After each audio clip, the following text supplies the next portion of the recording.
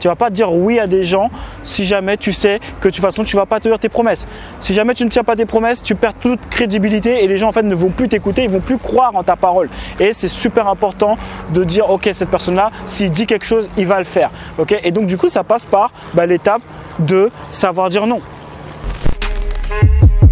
Alors bonjour et bienvenue sur cette nouvelle vidéo. J'espère les gars que vous allez bien depuis la dernière fois. N'hésite pas à t'abonner et à cliquer sur la cloche. Aujourd'hui on va voir ensemble 5 étapes pour pouvoir te permettre, ben, étape par étape, pour pouvoir voir comment devenir un leader d'influence. Alors tu sais qu'aujourd'hui c'est important d'être un leader. Si jamais tu veux accomplir de grandes choses, plus tu vas euh, construire un, leadership important, plus tu vas pouvoir accomplir de grandes choses. Maintenant ça ne se fait pas du jour au lendemain. Personne, euh, si il y, a, des gens qui ont déjà des compétences innées euh, dans le leadership, mais ça se travaille et ça se construit. Et si jamais toi tu travailles, tu vas pouvoir avoir ce leadership. Donc est-ce qu'aujourd'hui tu veux euh, construire une communauté, être un leader pour pouvoir accomplir de grandes choses? Ok, donc si jamais ta réponse est oui, eh ben, je vais partager avec toi, ben, cette vidéo déjà elle est faite pour toi et je vais partager avec toi les 5 étapes pour pouvoir ben, atteindre cet objectif. Surtout qu'aujourd'hui avec l'ère d'internet, tout le monde peut devenir un leader.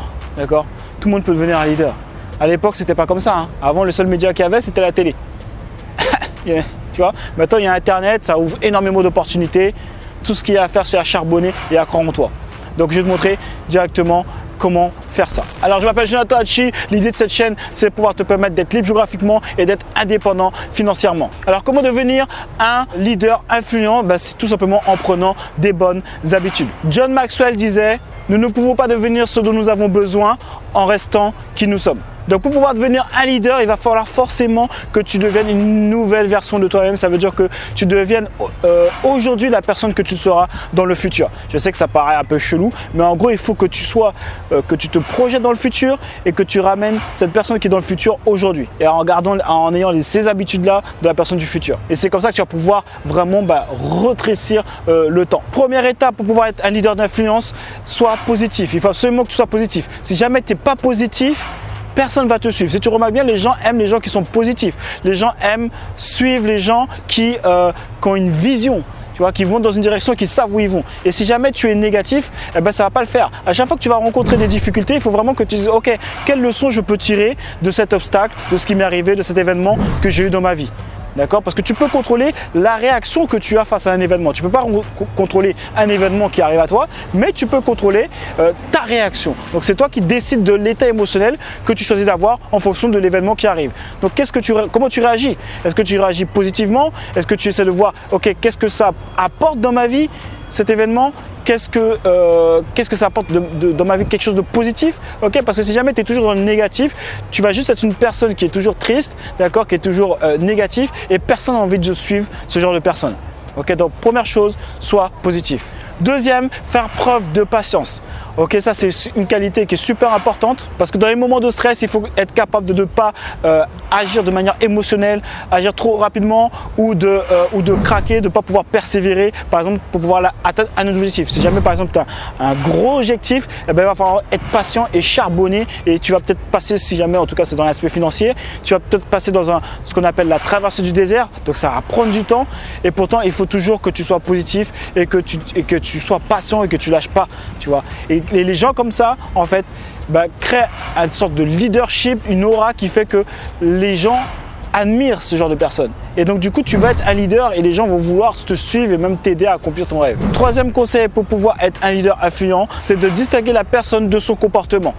C'est-à-dire que par exemple, si jamais il euh, y a Paul qui a l'habitude d'être toujours au top euh, euh, dans son travail, d'accord, et qu'aujourd'hui, eh ben, je sais pas, il déconne, tu vois, tu vas pas dire ah ben Paul, eh ben il est inefficace. Non, tu vas te dire ok, aujourd'hui il a peut-être un comportement qui n'est pas celui qu'on attend de lui aujourd'hui, mais c'est tout simplement parce que voilà, il a peut-être rencontré, je sais pas, il a peut-être des galères en ce moment dans sa famille. Donc du coup, euh, tu sais que cette personne-là, elle n'est pas devenue bête, tu vois. Donc faut vraiment faire attention à ça. Ou deuxième exemple, souvent les gens, euh, ils aiment bien, euh, ou même soi-même, tu vois, on aime bien se, être dur envers soi-même. Ah ouais, je suis bête, oh je je suis pas intelligent. Fais super attention à la puissance des mots. ok? Ne te dis, ne dis jamais que tu es bête, euh, même pour rigoler. Ne dis jamais des choses négatives par rapport à toi. Ok? Parce que tout simplement, c'est pas parce que tu as fait une action sur laquelle peut-être que tu aurais pu faire une action qui aurait été peut-être plus productive ou plus intelligente ou plus réfléchie que ça veut dire que tu es bête. C'est juste l'action que tu as fait peut-être moins, euh, euh, j'ai pas envie de, dire bête, mais voilà, tu comprends. Peut-être que l'action que tu as fait, elle est, elle est, pas la meilleure, c'est pas le meilleur choix que tu aurais pu faire, mais ça ne veut pas dire que tu, que tu, que tu es bête. Peut-être que l'action que tu as fait est bête, d'accord? Mais toi, en tout cas, ça ne fait pas que mais toi en tout cas, ça ne veut pas dire que tu es bête. Ok? Donc super important de distinguer vraiment les actions de la personne. Quatrième conseil pour pouvoir être un leader d'influence, éviter de se mettre trop en avant. Tu dois te mettre en avant en tant qu'un leader. Ok? Mais tu dois, ça ne doit pas être de la vantardise ou tu ne dois pas essayer de récolter tous les lauriers. D'accord? Si jamais tu as une équipe, eh ben, pense toujours à remercier ton équipe, à dire que voilà, c'est grâce à ton équipe que tu es aujourd'hui là où tu en es. D'accord? De ne pas faire comme si tu étais tout seul, c'est que toi, c'est toi qui as tout fait. Quoi, tu vois? Parce que si jamais tu fais pas ça, ben, les gens en fait, déjà ça montre que tu as un manque de confiance en toi parce que tu as un manque quelque part qui fait que tu veux toujours te mettre en avant alors que tu n'es pas tout seul, c'est pas toi qui as tout fait tout seul.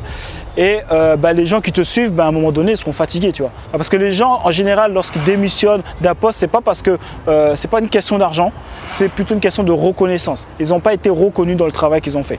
Donc si tu veux être un bon leader et que tu veux avoir une équipe forte, eh ben, ne te mets pas toujours en avant. Euh, rends à César ce qui appartient à César. Si jamais tu es là aujourd'hui, c'est grâce à ton équipe, donc parle-en et euh, euh, dans l'ordre de la reconnaissance. Cinquième conseil pour pouvoir devenir un homme d'influence, c'est de tenir ses promesses. Super important de tenir ses promesses. Ça veut dire que tu ne vas pas t'engager tu vas pas dire oui à des gens si jamais tu sais que de toute façon tu vas pas tenir tes promesses. Si jamais tu ne tiens pas tes promesses, tu perds toute crédibilité et les gens en fait ne vont plus t'écouter, ils vont plus croire en ta parole. Et c'est super important de dire ok cette personne là, s'il dit quelque chose, il va le faire. Ok? Et donc du coup ça passe par bah, l'étape de savoir dire non.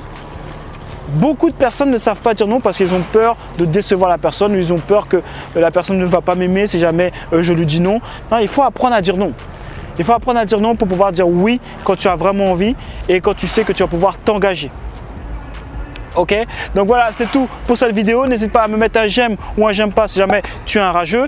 Euh, si jamais tu as aimé cette vidéo ce que je te demande ben, le, jeu c'est que ben, tu puisses partager cette vidéo. D'accord me mettre un petit commentaire euh, pour pouvoir me dire aussi bah, toi quel est le point euh, le conseil que tu as le plus apprécié pour pouvoir devenir un leader d'influence. Ok ça fait toujours plaisir. C'est le game les gars.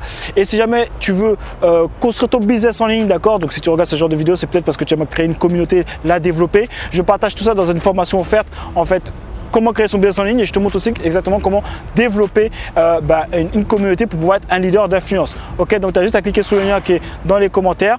Ok, même si tu n'as pas de business, tu n'as rien, je t'explique tout comment faire même si tu connais rien à Internet. Ok? Maintenant, si jamais tu es coach consultant, que tu as une expertise dans euh, l'investissement immobilier, tu es rentable ou dans le trading ou tout ce qui est lié au business qui permet à un business de, croître, ok? Et eh ben là, à ce moment-là, j'ai une masterclass pour toi qui va te montrer exactement comment euh, mes coachés ont fait pour atteindre euh, les 5 chiffres rapidement.